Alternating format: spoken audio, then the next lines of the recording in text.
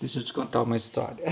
Para comprar esses camarões lindos aqui, eu tive que ter uma conversa com meu marido. Porque, ó, o meu marido islandês, ele come sopa até de pedra. Mas peixe, comadre, ele só come se for islandês ou capixaba. Ah, e esse não é um defeito só do meu marido, não, tá? Eu até hoje nunca vi um islandês que come peixe fora da Islândia. Eles são super fiéis aos seus peixes. Mas eu tirei foto disso aqui, achei lá no Couto, desculpa. Tirei foto, mandei, ele pesquisou a marca da empresa, viu que o peixe tem boa procedência, daí a gente conversou, combinou em fazer esse camarão rei King Prawns para você hoje. Menina, olha que lagostinha linda. E daí, ó, eu vou fazer a moda islandesa, já que os islandeses são bem assim, ó, complicadinhos, né, para comer. Então a gente vai, primeira coisa, retirar essa cabeça daqui, Ó, aqui tá a tripinha que nós vamos conversar com ele, tá? Aí, comadre, você pode tirar com garfo ou com uma tesoura assim mesmo, tá?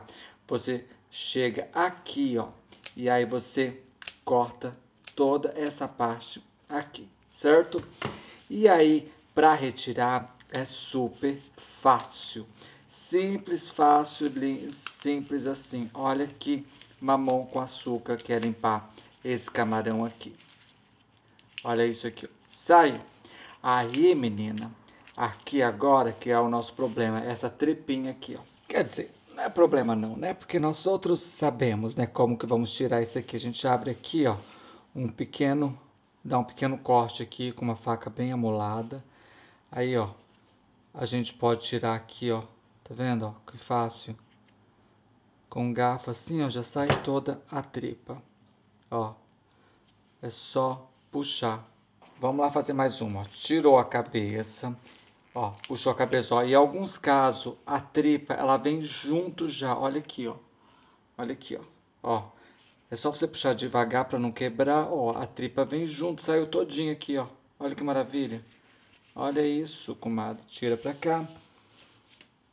Aí agora é o seguinte, você com a tesoura chega aqui, ó, nas perninhas dele abre.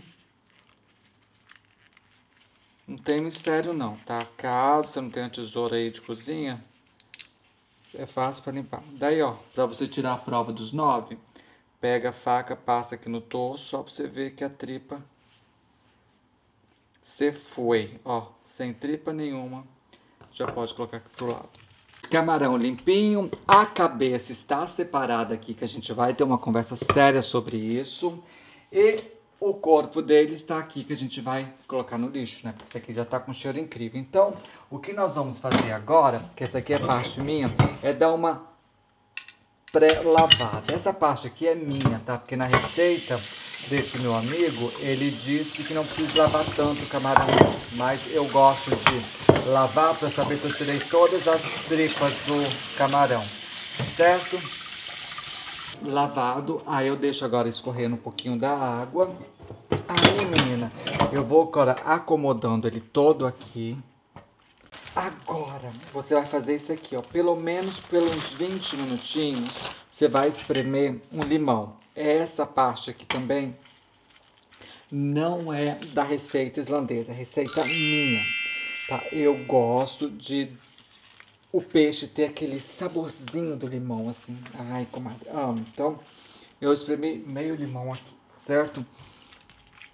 Daí, ó, você deixa agora aqui por 10 minutinhos. Enquanto isso, nós vamos preparar os temperos. O tempero principal que nós vamos usar é alho, muito alho, que você tá vendo que tem várias cabeças de dente, de, vários dentes de alho aqui, e uma cebola, tá?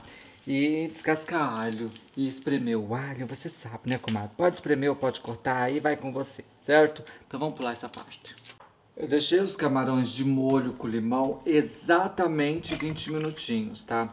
Daí agora, ó, eu vou deixar escorrendo aqui na peneira por mais ou menos 20 minutinhos. Eu quero deixar ele o mais seco possível, certo? Nessa panela aqui eu tenho água, comadre. E nessa mesma panela nós vamos colocar um pouquinho de sal aqui, certo? O sal rosa que eu estou usando é o sal Ah, o sal que eu estou usando é o sal rosa do Himalaia, certo? Então, quando a nossa água ferve, vamos encarar a nossa frigideira de ferro aqui e deixá-la esquentar, certo? Aí eu vou colocar azeite, comadre, aqui. Esse azeite que eu estou usando é o azeite de abacate. E, Joaninha, azeite de abacate pode ah, aquecer? Pode. Tá escrito lá no rótulo que isso aguenta não sei quantos ah, fogo assim. Isso aqui aguenta um fogo danado, mulher. Eu já ia falar uma outra palavra aqui. Aí é o seguinte, é bastante azeite mesmo. Esse azeite é super saudável. O azeite já está aquecido. Daí nós vamos colocar o nosso camarãozinho aqui. Comadre, é muito azeite mesmo, tá? Por isso que eu estou te falando para você lembrar de colocar aí o azeite de boa qualidade, tá? Esse abacate é maravilhoso.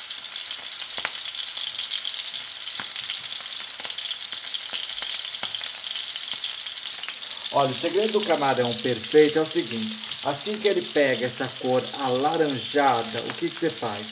Já retira, tá? É jogo rápido mesmo, ó. Enquanto esses moços aqui, ó, estão pegando uma corzinha, o que eu faço? Eu já chego aqui nesse cantinho aqui, o alho, tá? Porque tem que ser tudo muito rápido nesse momento aqui. É jogo rapidíssimo. Nesse cantinho aqui já entra a cebola. Uma cebola inteira, eu estou colocando porque a gente gosta de cebola aqui em casa, tá?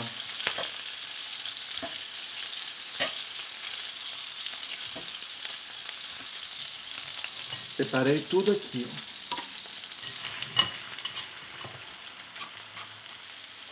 Comadre, quando o nosso alho dora, eu vou colocar aqui em cima da, da cebola esse temperinho aqui que eu amo, que é limão com pimenta do reino. Amo, amo, amo, amo, tá? E vai muito bem com peixe. E você usa a quantidade que você queira aí. E o tempero também fica à vontade, tá? Nessa parte daqui. Comadre, é o seguinte, o alho já tá douradinho, a cebola já tá bem murcha. Daí eu vou chegar agora com o nosso próximo ingrediente, que é esse aqui, ó. Meia colher ou uma colher rasa de chá de tumerique. Tumerique é açafrão da terra, tá? Uma outra coisa que é a gosto é pimenta. Se já tiver aquela pimenta dedo de moça aí, é maravilhosa. Eu uso a pimenta que eu compro aqui na Islândia, ela já vem temperadinha, toda bonitinha. Eu gosto muito, certo? Aí que agora que vem essa história, tá? Deixa eu... Oli, vem cá. Eu quero fazer, perguntar para ele. Oli, na receita original eles usam a cabeça aqui, ó. Eles põem a cabeça aqui e aperta a cabeça depois de estar cozida. Você quer que ponha aqui? Não. Hein? Porque na minha cultura a gente não usa. Pode botar aqui? Não, não. Vai jogar fora a cabeça? Tem certeza? Sim, A gente não vai comer a cabeça, só vai tirar o líquido que tem dentro da cabeça, inside da cabeça. Vamos ou não? Não, não. Ah, não. Então tá. Então tá, comadre. Se você quiser fazer a receita verdadeira, é só você colocar a cabeça aqui, deixar a cabeça cozinhar e aí depois você espreme a cabeça, certo? Mas isso foge da minha ossada. e ó, ingredientes aqui todos preparadinhos. Daí nós vamos colocar sal rosa a gosto, tá? Aí, comadre. Tem uma outra coisa que eu gosto muito, tá? Eu deixei na lata só pra você ver que eu tô usando leite de coco, o gordo, não é o light não, aquele gordo mesmo, tá? Agora eu vou colocar aqui e vou deixar esse molho apurar bem, tá? Tem que apurar a janinha, ferver bem. Mais um pouquinho aqui. Meu fogo aqui, ó, está baixo, vou deixar ferver bem esse tempero aqui, ficar tudo direitinho. Enquanto isso, ó, como está fervendo a nossa água. Aí, meninas, nós vamos colocar macarrão massa fresca. Ó, a quantidade aí é para sua família. E eu e o Olaf, a gente tá assim tomando cuidado com as nossas refeições, tá? Pode ter certeza disso.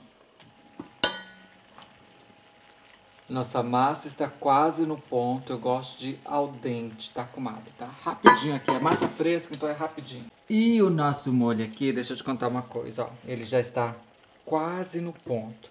Percebeu que a cebola está quase transparente? Então, ele vai ficar mais no pontinho pra gente trabalhar aqui. Comadre, foi jogar o lixo fora. Aí ó, já ferveu, já tá pronta a nossa massa.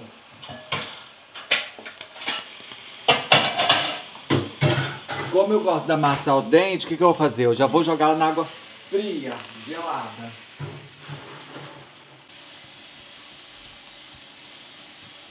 Pensa que vida de cozinheira é fácil, né? Não, tá. Olha a bagunça que eu fiz aqui. Ai, ai, ai. Molho no ponto. Panela de volta no local. Agora nós vamos colocar o nosso resto do azeite aqui na panela. Aí, comadre, nessa panela, na nossa frigideira aqui, onde está nosso molho especial, nós vamos fazer o seguinte. Nós vamos colocar o nosso camarão aqui e vamos colocar aqui por cima a nossa salsinha. Por que, que eu já vou colocar a salsinha agora? Porque eu tenho a salsinha desidratada. Eu não tenho a salsinha fresca. Eu quero que essa salsinha hidrata nesse molho aqui, tá? E essa, essa opção da salsa também é opcional, certo? Aí, ó. Ah, um outro segredo também é o seguinte. Eu deixei essa, esse molho aqui incorporando mais ou menos uns 5 a 6 minutos. Eu deixei ele engrossar bem mesmo em fogo baixo. Aí agora eu vou colocar em fogo alto só para ter uma ferventada. Lembra, a gente não pode ferventar muito camarão, senão ele emborracha. Esse é o segredo do camarão perfeito. E na nossa outra panela, que o azeite já está quase quente, eu vou colocar um bom pedaço de manteiga já para ser derretido, certo? Hoje, hoje é dia, tá encerrando tudo. E nosso camarão aqui, ó, começou a ferver. Olha só que belezura isso aqui. Então começou a ferver, eu já desligo todo o fogo já. Eu só quero só o calor. E a minha manteiga lá, ó, já está no ponto de receber o nosso macarrão maravilhoso Ai, Joaninha, macarrão que palavra feia. Ai, comadre, vai passa então, tá? E aqui, ó, ele é só no, na manteiga mesmo. A gente coloca mais um pouquinho de, de, de sal. Porque, menina, deixa eu te contar uma coisa. O, o macarrão, eu lavo ele, tá? Eu dou aquele choque térmico. Como a minha água da torneira sai extremamente gelada, porque eu moro aqui na Islândia, na hora que eu jogo água quente, já para o cozimento todinho dele, tá? E aí aqui já tá desligado. E aqui eu coloco mais um pouquinho de salsinha, só para dar uma, uma corzinha. Vou colocar também a minha pimentinha, que nós gostamos muito de pimenta. E é isso, comadre. E agora, para fechar com chave de ouro, vou colocar um parmesãozinho por cima, assim, fresquinho, fresquinho, raladinho na hora, mulher. Ó, e não esquece não, comadre. Eu amo quando você me marca. Sabe quando você faz as receitinhas que eu ensino aqui? Daí você me marca lá no Instagram e eu fico super feliz. Eu vou lá, curto a sua foto e eu sei que você gostou da receita, assim, né? E não esquece de voltar aqui amanhã, porque a sua Janinha tem vídeo todos os dias, de segunda a segunda, feito com o maior amor e carinho para você. Um beijo grande até a próxima. Tchau, foi!